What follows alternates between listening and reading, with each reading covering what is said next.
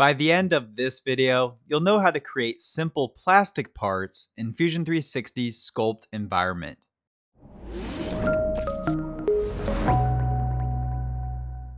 Hey there, it's Kevin Kennedy, and welcome to the Product Design Online YouTube channel, where I demo all things Fusion 360. If you're new here, be sure to hit that red subscribe button and go ahead and comment below and let me know what you plan on using Fusion 360 for. To get started, I'm going to create a new component. I'll select the Assemble drop-down list and then select New Component. Before clicking the OK button, I'll make sure empty component is selected and I'll type out plastic cover for the component name. Now to get to the sculpt environment, you'll see that you can't select it from the workspace drop-down list. But instead, you have to select Create Form from the Create drop-down list or from the toolbar. This will give you a warning that you're entering the sculpt environment. And if you don't want to see this message again, you can simply check this box before clicking OK. For this demo, I'm going to show you how to sculpt a simple plastic cover that is used for a doorbell chime box. And for reference purposes, I'll put a link to a similar product in the video description down below. Then, after sculpting out the basic shape, we'll convert the T-spline body to a solid model, and we'll take a look at how to add some ribs and webs to the plastic part. I'm going to start out with a simple box. I'll select the box option in the toolbar. Then I'll select the XY origin plane. I'm going to select the center origin and drag out with my mouse, which will give me the option to type out the length and the width of the box.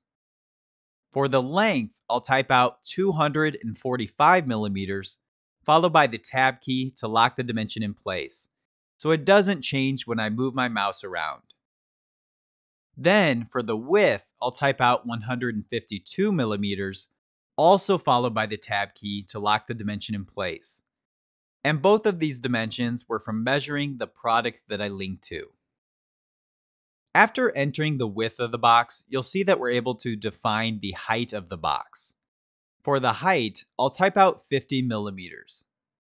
Before clicking enter, let's take a look at the options in the box dialog. You'll see that within the box dialog, we're able to redefine the length, width, or height of the box before clicking OK. We're also able to set the number of T-spline faces for all three dimensions. Now, one important thing to note when sculpting is that you'll want to make sure your visual style is not set to the shaded option. If I head down to the visual style settings and select the shaded option, you'll see that you can't see all the T-spline faces. Personally, I like to use the visual style option that is shaded with visible edges only, which makes it really easy to see the T-spline edges. The general rule with sculpting faces is to always start with the fewest amount that you think you'll need. It's always easier to add faces and edges as you're sculpting versus starting with too many faces, which can make your sculpted body harder to control. To start off this body, I want to have a few faces on each side. I'll type out three faces for the length, four faces for the width, and two faces for the height. And I'm putting the most amount of faces for the width because that's the area that I'm going to manipulate the most. The next option in the dialog box is the direction. It defaults to one side, which is what I'll use.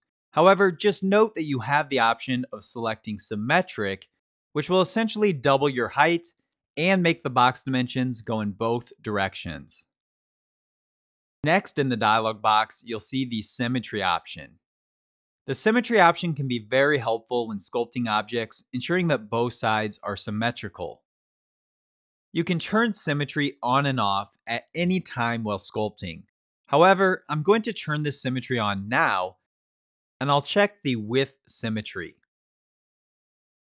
And you'll see the green line of symmetry, which means that I can just focus on sculpting this one side of the line, and the other side of the line will update accordingly.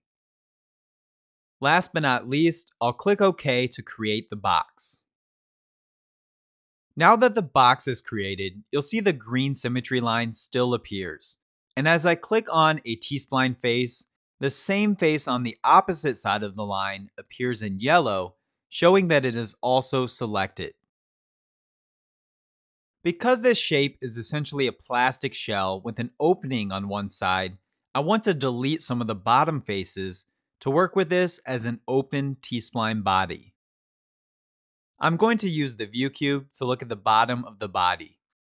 Then, while holding down the Shift key on my keyboard, I'll select the bottom six faces. And again, you'll notice they're selected on the opposite side of the symmetry line. To get rid of these faces, I'm simply going to hit the Delete key on my keyboard. I'm now going to hit the Finish Form button in the toolbar to return to the model workspace. And if you're following along with this tutorial, then you don't have to do this step. I just wanted to quickly make you aware that when sculpting, that all we have is a surface body, meaning it has no real thickness. So we'll need to add thickness to the model later on.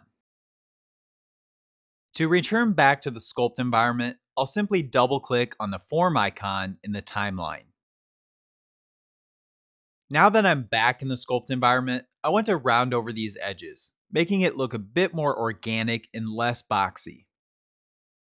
I'm going to hold down the Shift key on my keyboard and then select all three of these edge lines. I'll then right click and select Edit Form.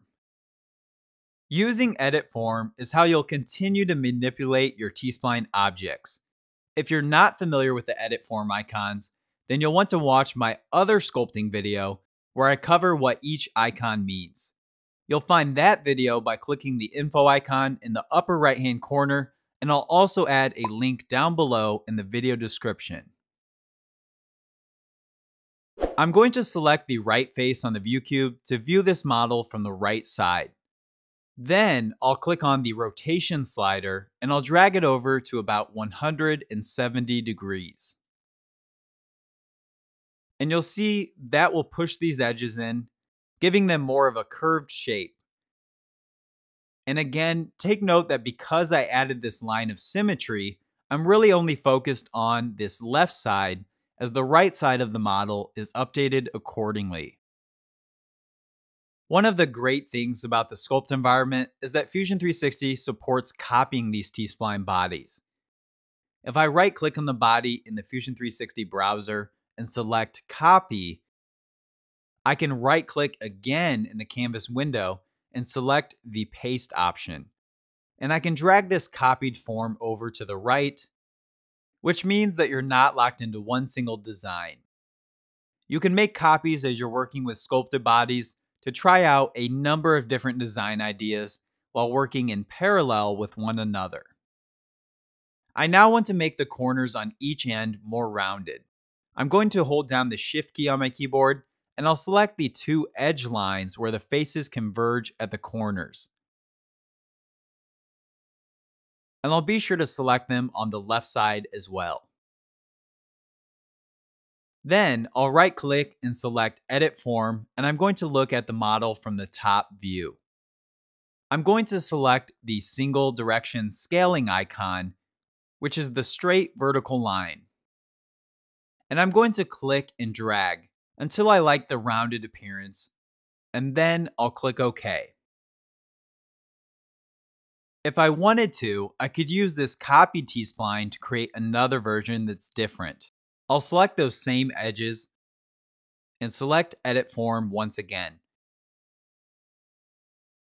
And this time, I won't drag the single directional scaling icon quite as far. As I mentioned earlier, we just have a thin surface body with no real thickness to it.